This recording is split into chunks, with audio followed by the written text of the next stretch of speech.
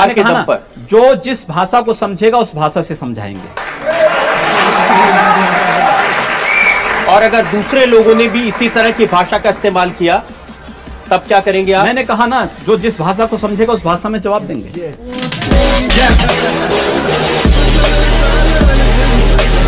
अगर तोड़फोड़ और आगजनी करेंगे तो इनकी प्रॉपर्टी को भी जब्त करवाने का कार्य करेंगे। ऐसी बातें हम कानून की बात कर रहे हैं ना। हमारी जो भी बातें कंडीशनल हैं। अगर आप शांति से रहेंगे तो हम भी शांति से रहेंगे। आप विकास पर ध्यान देंगे तो हम तो विकास में आपको और सपोर्ट करने वाले हैं। जो अपराधी हैं वो जेल में जाएँगे या यमराज के पास जाएँगे? ये क्या बात है? तो मैं क्या अपराधियों की आरती उतारूं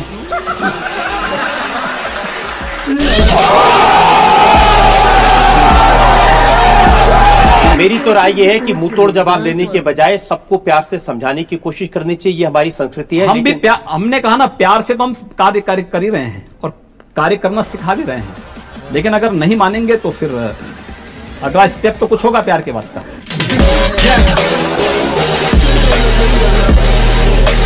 ये कौन सी बात है कि अपराधी गोली चलाएँ और हम पुलिस वाले से कहें कि भाई तुम अपने हाथ बांधे रहो? नहीं मैंने ये नहीं और जब गोली चल जाए तो उसके बाद जो है तब जाके तुम गोली चलाना। अब एक तस्वीर मुझे मिली ढूंढते ढूंढते आपने ये आप बाघ को टाइगर को दूध पिला रहे हैं। टाइगर जैसा साहस जिसमें होगा वही टाइगर को दूध पिला सकता है।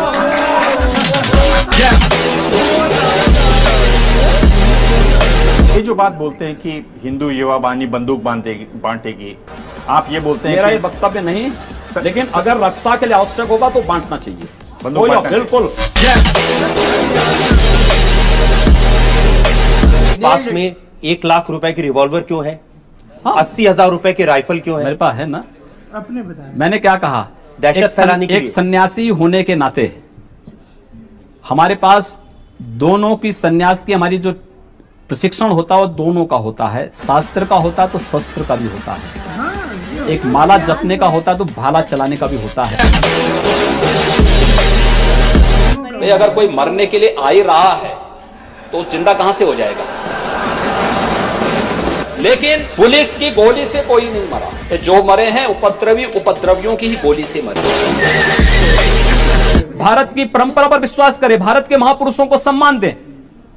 सबका स्वागत होगा। लेकिन अगर भारत के अंदर रह करके ये नहीं चलेगा कि तन भारत में और मन पाकिस्तान में ये चलेगा तो हम लोग इसको नहीं स्वीकार कर पाएँगे। कतई नहीं स्वीकार करेंगे। बट जो आप बात कहते हैं हथियार वाली संविधान में कहीं लिखी हुई है। ये मेरा वक्तव्य कहीं है ही नहीं तो आप अपने तरीके से अपने बात को मेरे मुँह में डाल रहे हैं तो मैं उसकी बात कहाँ से कर सकता हूँ? लेकिन ये शास्त्र सम्मत है तो मुझे लगता है कि शास्त्र सम्मत है तो हमें उसका अनुपालन करना चाहिए। अगर कोई आपको मारेगा तो मुझे लगता है कि सामने कोई मानव होगा तो उस मानव को आप ये मान सकते हैं कि आपने एक थप्पड़ मारा आप दूसरा थप्पड़ भी सहन कर सकते हैं।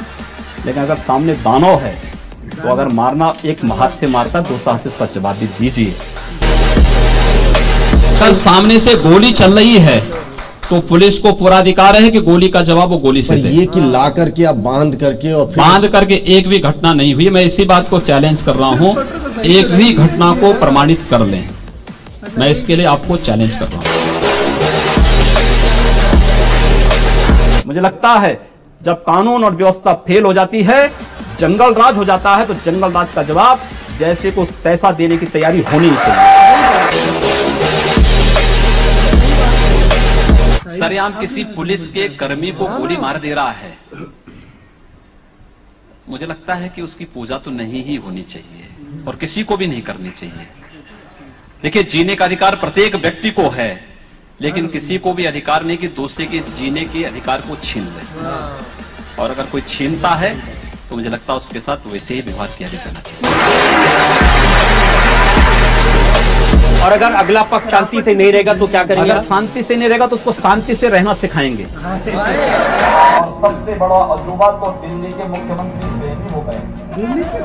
पता ही नहीं लगता वो मुख्यमंत्री है या धरना मंत्री है। हर विकास की कोई योजना आती है वे धरने में बैठ जाते हैं। अगर कोई आपको मारता है, प्रशासन कार्रवाई नहीं करता है, आप हाथ पर हाथ धरे रहे मत बैठिए, उसका प्रतिकार